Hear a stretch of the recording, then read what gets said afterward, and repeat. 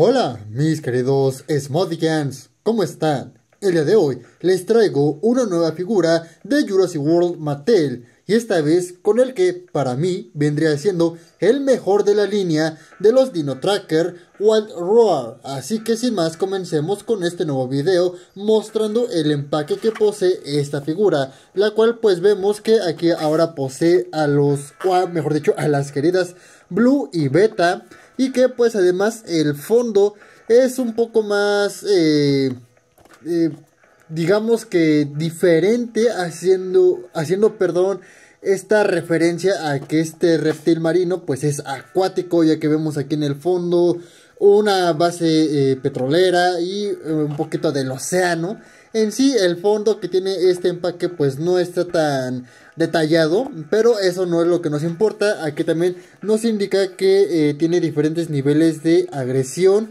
o agresividad. Aquí se nos indica la sublínea a la que pertenece, en este caso el Wild Roar y el nombre de, la especie, en este caso Chronosaurus.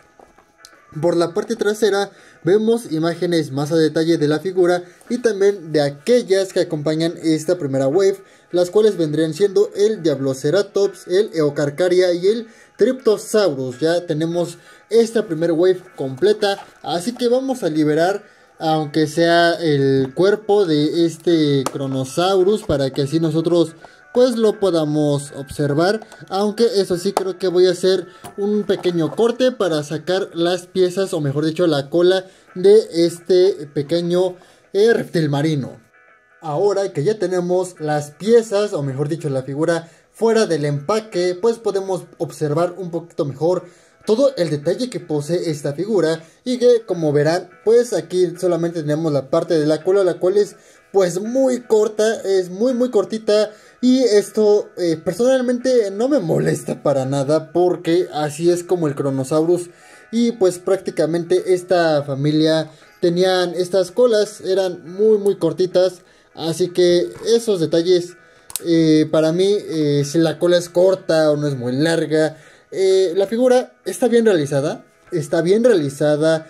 Me atrevería a decir que el esculpido de este Cronosaurus está científicamente correcto porque pues el Kronosaurus era bastante robusto, con unas aletas pues no tan grandes, la cola era corta, pero la cabeza sí era muy muy robusta.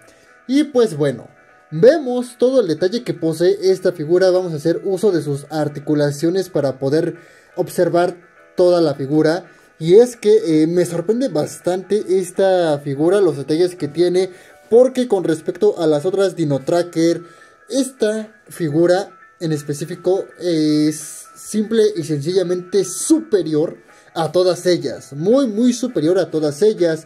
Porque pues si nos damos cuenta... Y voy a ser bastante sincero, el estilo de pintura de este Cronosaurus es sumamente sencillo. En cuestión de que solamente nos presentan dos diferentes tonalidades de pintura en todo el cuerpo. El cual vendría siendo este color azul marino que recorre pues todo el cuerpo desde la parte superior y por la parte inferior tenemos este color amarillo, casi casi tirándole a beige, pero eh, hay que destacar algo muy muy importante y es que si Mattel maneja eh, colores simples como en este caso este color marino y un color amarillo, pero que se vea bien distribuido, creo que no hay problema creo que no lo hay y no se nota tanto eh, la falta de pintura si hace estos efectos de, pintura como eh, tipo eh, manchado o rayado. creo que no, no hace ver la figura tan sencilla, de hecho hasta lo hace ver muchísimo mejor. El único otro detalle de pintura que tenemos en este Cronosaurus es este color azul metálico que me agrada bastante cómo se ve en la parte del ojo, pues el cual lo hace resaltar aún más. Y pues también vemos que el ojo es de color amarillo con una pupila en color negro. Y uy, los dientes, eh, me espantó el sonido, eh, me espantó el sonido, no sé por qué. Pero eh, los dientes son de color eh, blanco y si mm, hacemos el uso de la articulación de la boca, vemos que tanto la lengua como el paladar están pintados, algo que se agradece bastante y vemos por ahí esos dientes característicos de estos tilosáuridos. que creo que es la familia a la que pertenece. Eh, según yo, no recuerdo que este sea un mosasáurido, sino un tilosaurus o un tilosáurido. Eh, ya lo estaré checando después, o si alguien me corrige en los comentarios, pues también se lo estaré agradeciendo. Prácticamente es eso, todo el tipo de pintura que tiene. Es sencillo, sí, es muy sencillo, pero funciona, funciona bastante. Ahora, algo que me gusta de este Cronosaurus es que tiene esta especie de, no sé si llamarlo parásitos o eh, tipo coral, bueno, no sé en sí cómo decirlo, esto se observa más en la cola y es que vean, algo tipo eh, ballena jorobada y es algo que me agrada.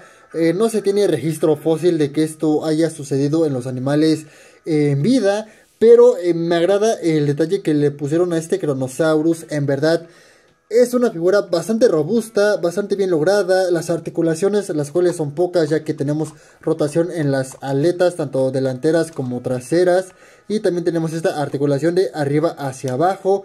Eh, es una articulación pues simple, sí es muy simple, pero al menos nos permite colocar de esta manera a nuestro eh. Y de hecho, me agrada la sencillez con la que está hecha la figura y lo elegante que se ve porque en verdad se ve bastante bien. Ahora, antes de que se me olvide, si es que tú no tienes aún esta figura, pues te comparto el código de escaneo de esta figura para que así tú puedas escanear en tu aplicación de Jurassic World Fax. Y bueno, creo que ahí más o menos ya tienes el, código. Así que eh, ya vamos a retirar la figurita y a mostrar los sonidos que eh, este posee. Los cuales debo decir que me han sorprendido porque... Eh, vean. Estos son los sonidos que tiene.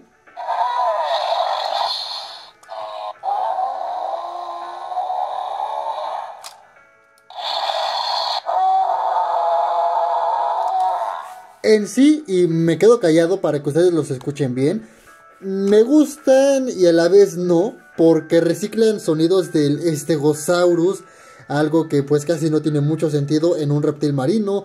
Hay otros que los recicla tipo eh, Liopleurodon, pero están bien los sonidos, no me desagrada. Y en esta ocasión la mandíbula sí abre un poquito más, eso me agrada.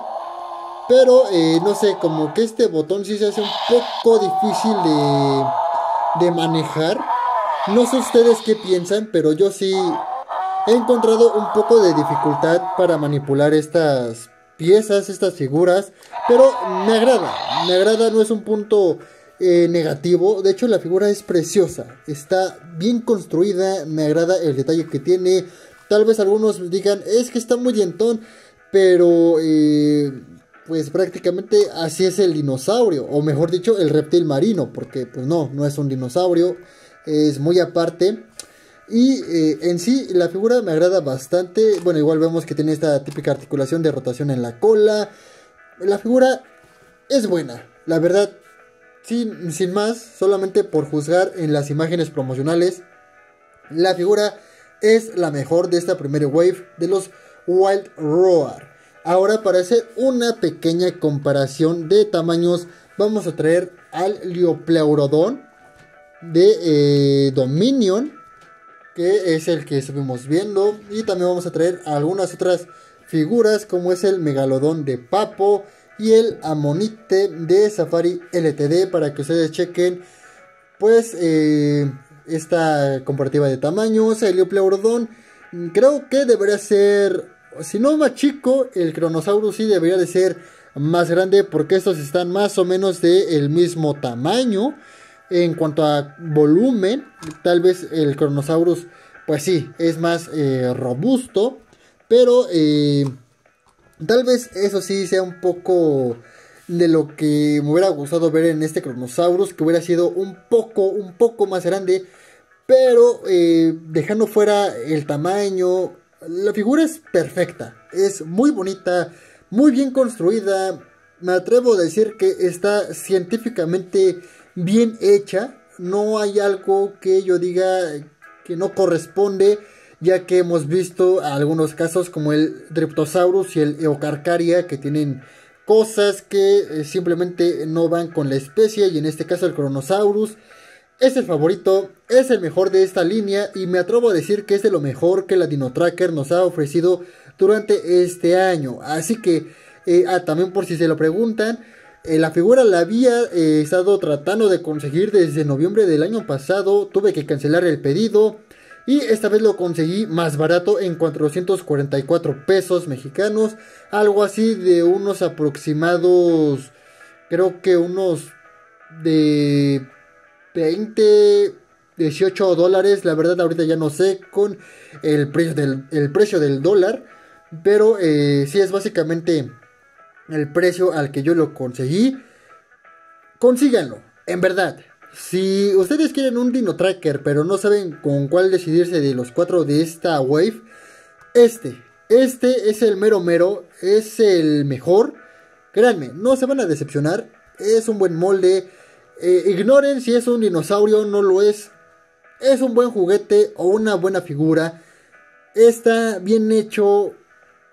Es precioso. En sí, como calificación final, yo en verdad le, doy el 10 de 10 a esta figura por sus buenas, eh, bueno, su buen grado de articulación, la buena calidad de pintura que presenta esta figura, ya que si Mattel sigue el camino de este Kronosaurus, aún dándonos un estilo de pintura sencillo con dos diferentes tonos, pero bien distribuidos a lo largo de la figura, creo que es el camino que eh, a Mattel le puede beneficiar y de esta forma no nos estemos quejando tanto con el tema de la pintura, más que nada relacionado al precio, por lo que esta figura vale totalmente la pena. Así que, ya sin más, yo me despido y nos vemos en los próximos videos.